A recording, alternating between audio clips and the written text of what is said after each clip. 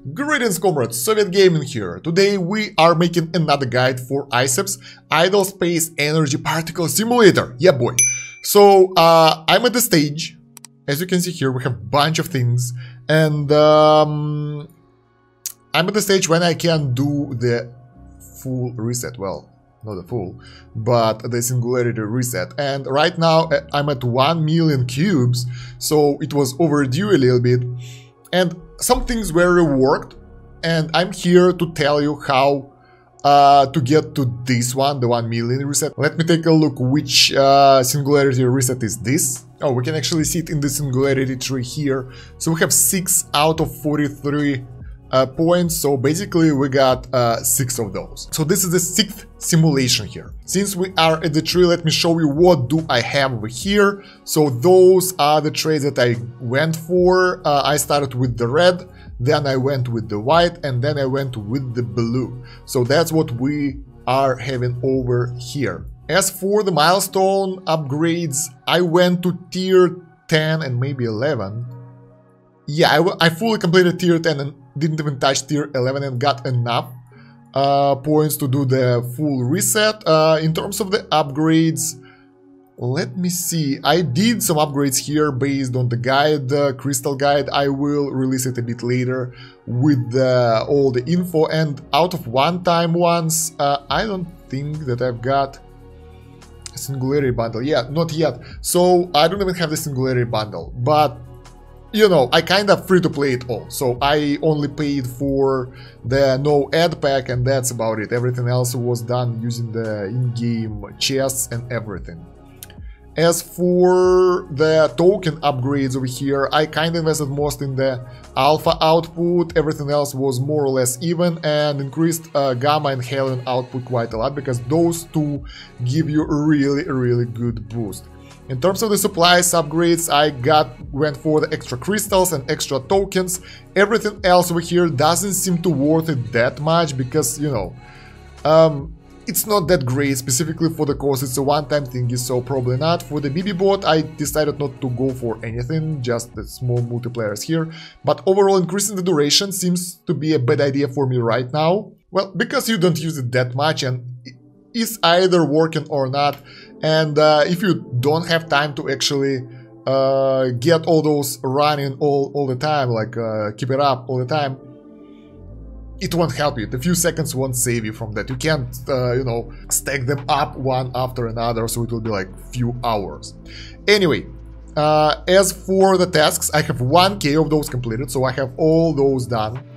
That was pretty easy, but after that it feels really scary to go for the next one, which is 1.4, which is like 40% of what I have here, so it's wow, that, that's not, not really close. Another milestone that I want to point out that you want to get as soon as possible is the G Corporation a model collection and I went for the offline G points since I mostly play this game offline I don't run it all the time online so that helped me a lot like 50% efficiency. It will persist through the old type of reset, so that's really, really cool. And going for this one should be your priority. If you can afford this and you have to wait for like one extra day, go for it. That will help you because you can't, if you can't run your game 24-7 online working over here.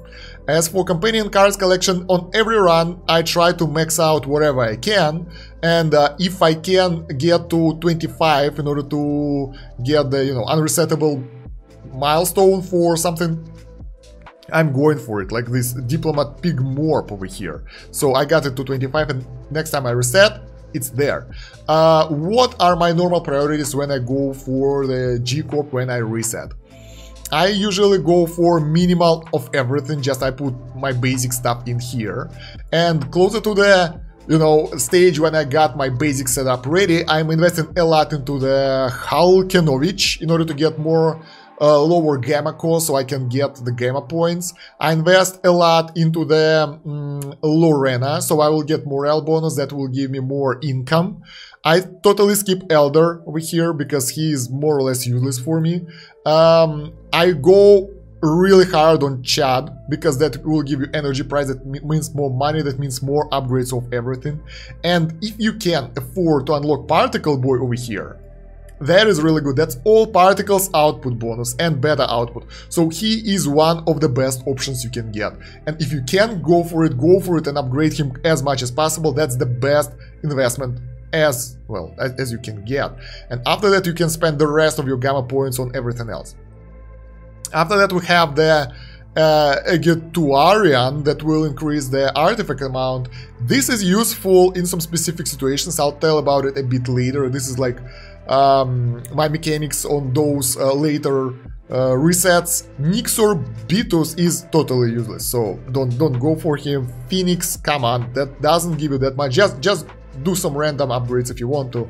But honestly, focus on, on those guys, those three will be your best bet early on. Now, as for the Corvus funding here, it's pretty even.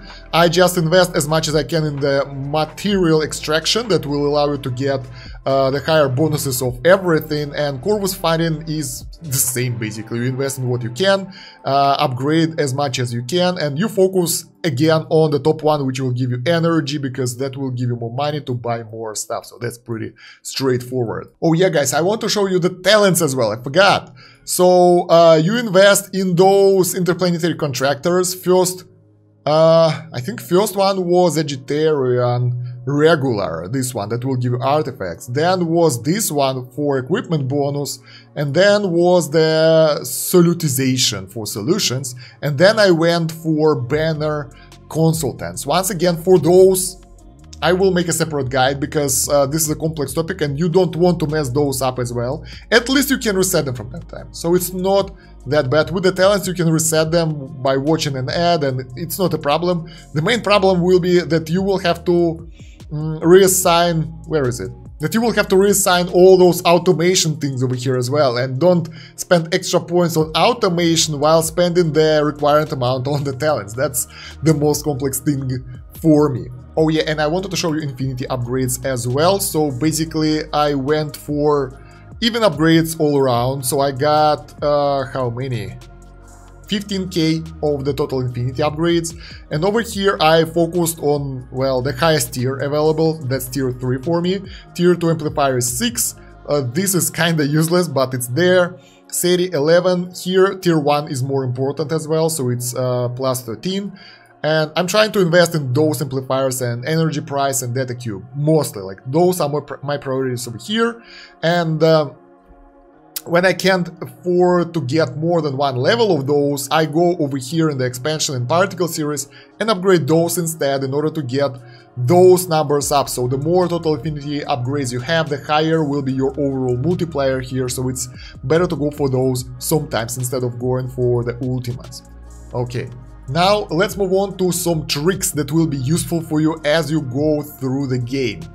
First of all, Aegeterium. Uh, early on you can go all in here and spend it evenly, but later on you will understand that like by the end of the run, after the reset, you will get overall, let's say like 700 trades over here and 700 trades over here, right? And you're like, okay, uh, I know that I will get 700 here and 700 here after I will, like before the reset, after I will invest my everything I can over here. And uh, what do you do when you start? You go all in, you buy all those things, and you invest, if total is 1.4k, basically you buy 700 of all particles output, or 750 let's say. And then you don't buy anything else. You keep those for here, like you don't touch them, you don't get data cube gains because it's useless. Uh, I will explain why in a second. So you just buy all particles output. After that, you spend the rest of your resources on building up your gains of energy and everything. And uh, I advise uh, specializing over here, game automation. You turn off beta particles, like you leave only uh, cell energy, market, alpha, uh, and then you go for gamma and helium particles. Those, like, this is the setup I mainly use when I want to grow, because everything else over here will give you marginal gains. Epsilon might be a good option, maybe some better upgrades, but most of those don't affect your overall income, overall income of uh, money or energy that much, and that won't affect your long-term performance, let's put it like that. Then, at the point when you feel like, okay, I'm pretty far away, you want to do the thing, the important thing. So before buying all those data cube gains, you need to upgrade your artifact gain. So in order to do that, if you that's only if you can get to that point, obviously, not early in the game. If you can get to and this guy over here, to get more artifact amount per buy, you should go here, save up some gamma points, go all in for this guy. Ooh, nice level up. We can see what, what do we have here. Do we have enough? No, that's sad. So you go all in, all in over here. After that, you go to the Corvus funding and uh, over here you use up Project Mela and Project Lera. So that will give you uh, artifact acquired and lower price, but you want artifacts acquired increased amount. After you will go with those and then spend some points over here, your amount of artifacts you will buy here, like here, it will double so basically, before the upgrade, it would be something like 40, 50 of those, and now you get 110. So, um, before doing all the trades here, the final trades, you would like to invest in those upgrades and then you can increase this number of data cube gains. Why do you want to do it later in the game? I don't know if you guys already guessed it or not. This will be the additional multiplier on the data cube gains. But it can be done later on. Since your data cubes are being calculated based on the energy gained in the current simulation and then there is a multiplier uh, applied to it. You can do it later, so even if this number shows you a really low amount, don't be sad about it. Just make sure that you reach your maximum in this run and, well, if you can afford those upgrades, of course, that increase the multipliers of artifacts. And then just go all in over here and get as many of those upgrades as possible.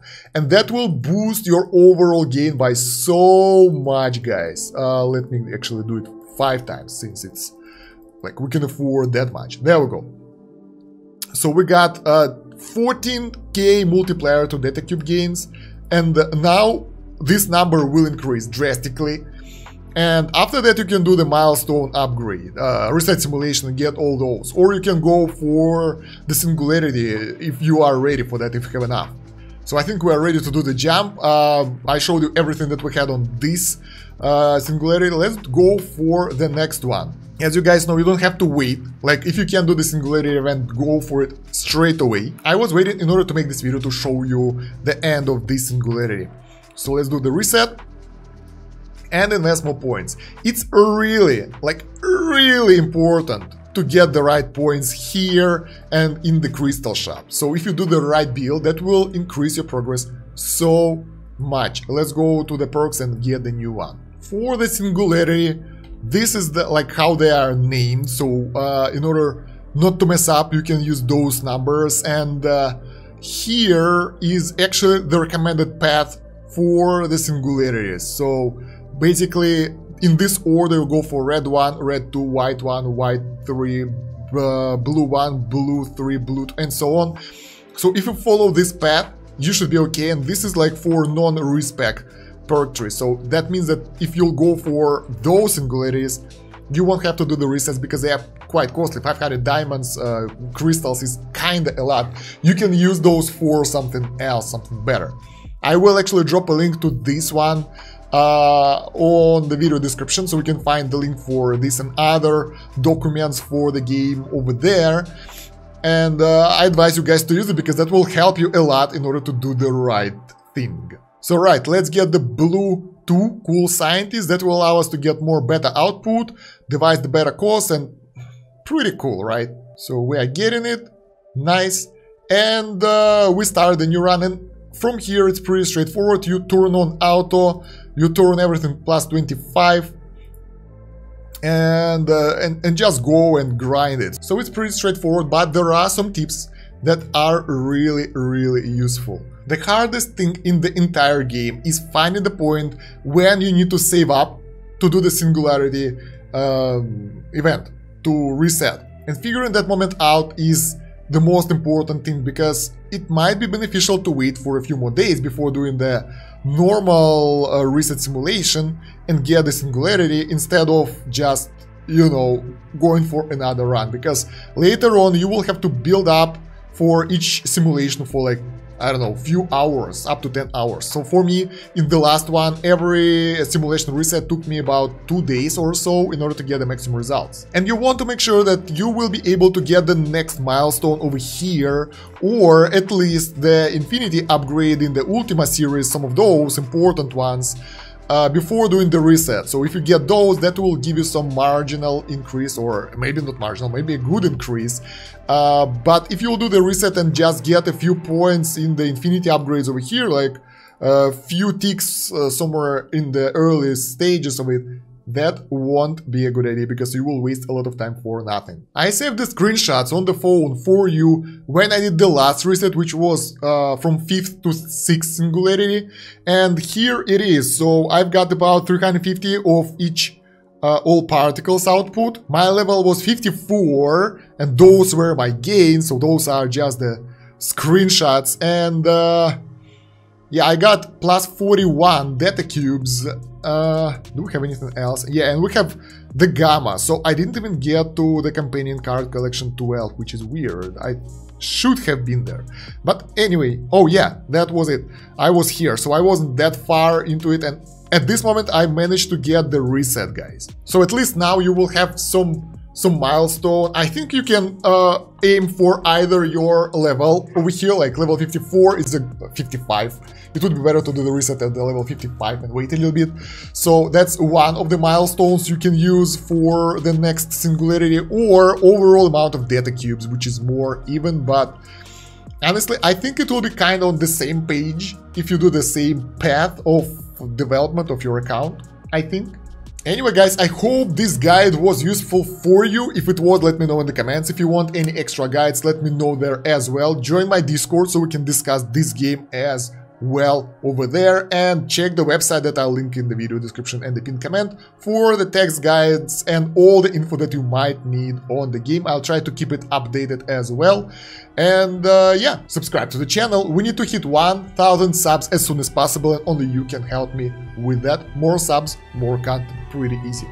Um, yeah, like the video as well. Thank you for watching, guys. That's about it. Soviet out. До свидания.